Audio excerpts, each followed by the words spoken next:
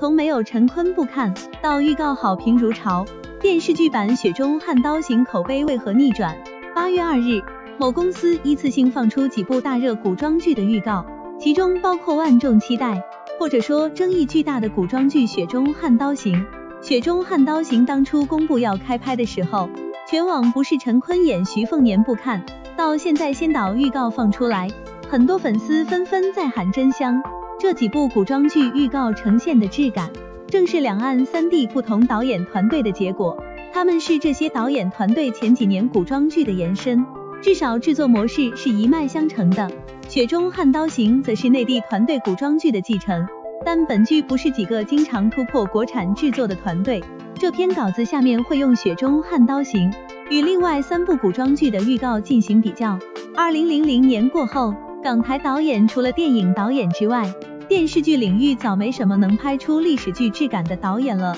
明明四部古装剧类型都不一样，同时预告时间长短也不一样，